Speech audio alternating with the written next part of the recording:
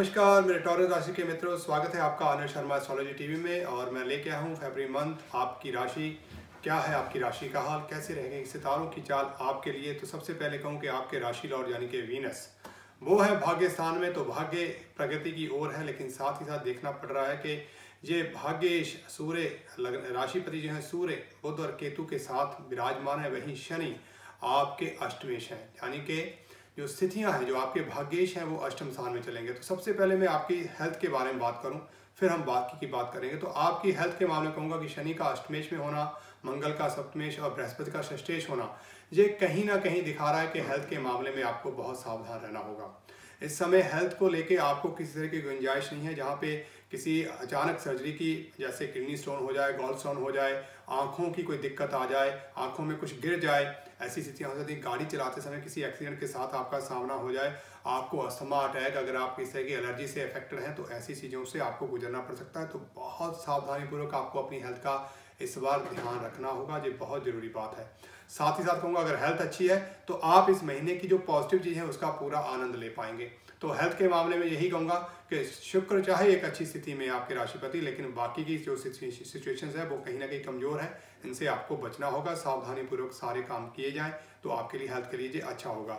जहाँ तक आपके रिश्तों की बात है तो मैं कहूँगा कि फैमिली में कुछ चीज़ें ऐसी हो रही हैं, जो आपके भाग्य के में सहायक सिद्ध हो सकती हैं। आपके फैमिली मेंबर आपके एक्सटेंडेड फैमिली मेंबर आपके संबंधी आपको हेल्प कर सकते हैं, ऐसी संभावना इस समय बनी हुई है। ऑब्वियसली है कि जब कोई स्थिति होती है तो वो कहीं ना कहीं एक साथी के तौर पे आके आपके साथ खड़े हो जाते हैं, जो एक अच्छा शुभ शगुन जो है वो मैं देख रहा हूँ आपकी कुंडली में, जो आपके लिए बेहद एक सुकून भरा हो सकता है।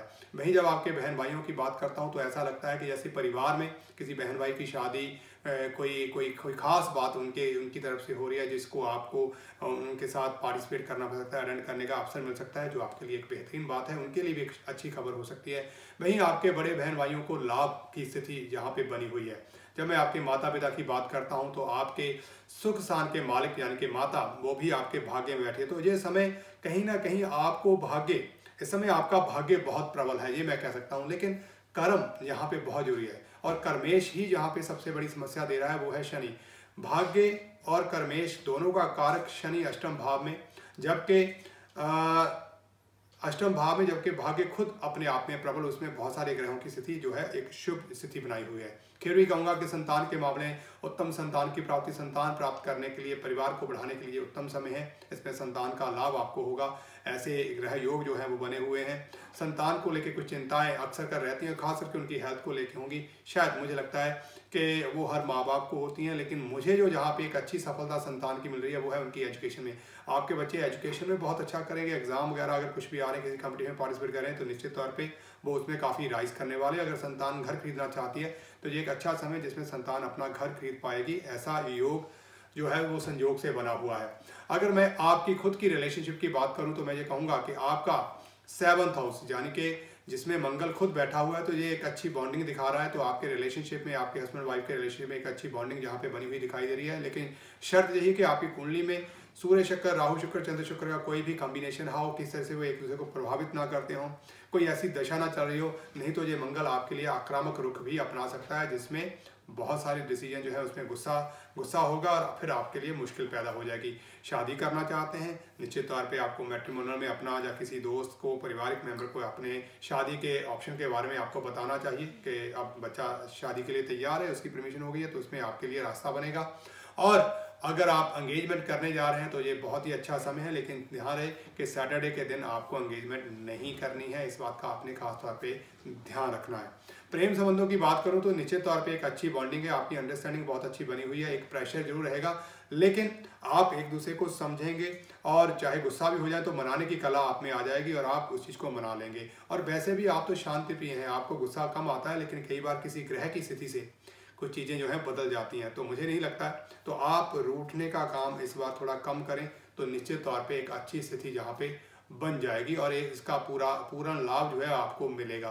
तो रिलेशनशिप में, संबंधों में जो बहन भाई और एक्सटेंडेड फैमिली दोस्त मित्र हैं, उसमें स्थितियाँ इस बार आपके लिए भाग्यवर्धक हैं। उसमें पूरा सहयोग और उसमें कुछ समागम की स्थिति बनी हुई है। अगर मैं आपकी बात करूँ प्रॉपर्टी के मैटर में तो जैसे सुखेश जो है, प्रॉपर्टी का कारक जो है वो सूर्य भाग्य स्थान में। तो ऐसा लगता है कि आपके मन में ये लग रहा है कि अब मुझे प्रॉपर्टी लेनी चाहिए, उसकी कुछ प्लानिंग जो है वो बन रही है। मुझे लगता है कि धीरे धीरे करते आज अगर आप शुरुआत करेंगे तो आने वाले दो तीन महीने इसमें लग सकते हैं, लेकिन जी हाँ आपको प्रॉपर्टी मिलने के योग जो है, वो बने हुए हैं। लेकिन ऐसी प्रॉपर्टी बिल्कुल ना लें, जो हालत जिसकी खस्ता हो, जिसमें आपको खुद कंस्ट्रक्शन वर्क करना हो, ऐसी चीज़ से बचें।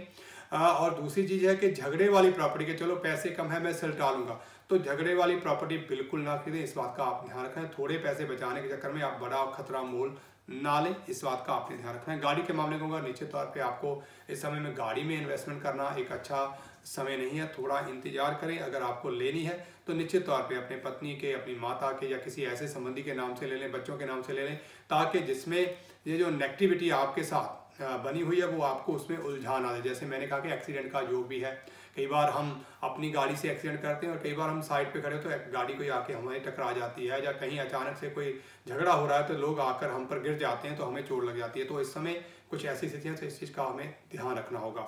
अब ये सारे खर्चे, सारे चीज़ें, परिवार, गृहस्थी, ये सब चीज़ें आपने कह तो दी। अनिल जी, अब ये सब पैसे के बगैर कैसे होंगी? ये सबसे, इसलिए मैं कह रहा हूँ कि सबसे बड़ा सवाल आपका बाद में यही होता है। तो मैं ये बता दूँ कि आपके सिक्स हाउस में, आपके टेंथ हाउस में और सेकंड हाउस के अलावा एलेवंथ हाउस में ही आपके पैसे का प्रबंध है। यानी कि ये घर जो है मिलके आपके काम को, आपकी नौकरी को, आपके पैसे लेने को, सब चीज़ों को दिखाई देते हैं।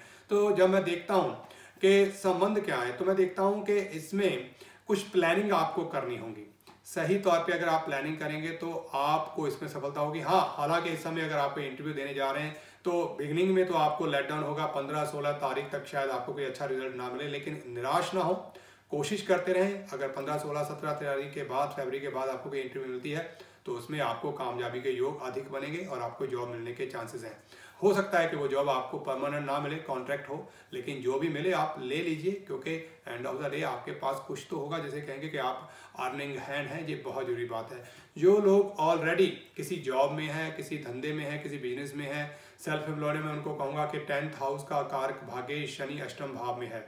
और वहाँ से वो अपने घर को देख रहा है, लेकिन कमज़ोर स्थिति में है। इसकी वजह से उसकी दृष्टि भी कोई बहुत ज़्यादा फ़ायदा नहीं करने, कर पाएगी। इसलिए आप अपने काम को छोड़कर किसी नए काम में जाने की कोशिश ना करें कि मुझे जहाँ वहाँ पर ज़्यादा पाए आप कहीं ना कहीं उलझ जाएँगे।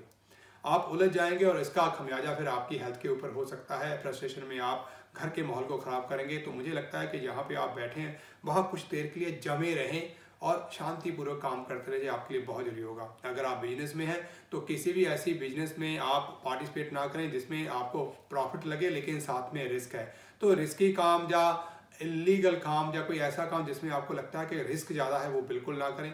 बाकी आपका जो जनरल काम है, वो चलता रहेगा। शनि अष्टम भाव से द्वितीय भाव को, यानी कि आपके फाइनेंस को देखता है तो वो दिखा रहा है कि किसी ना किसी तरीके से आपके पैसे के एक्सपेंडिचर होगा, लेकिन आमदन में कुछ कमियाँ जो है, वो आपकी हो सकती हैं।